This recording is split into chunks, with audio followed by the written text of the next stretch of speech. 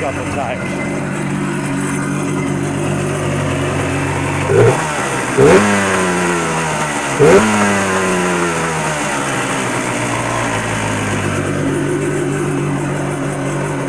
She sound all right?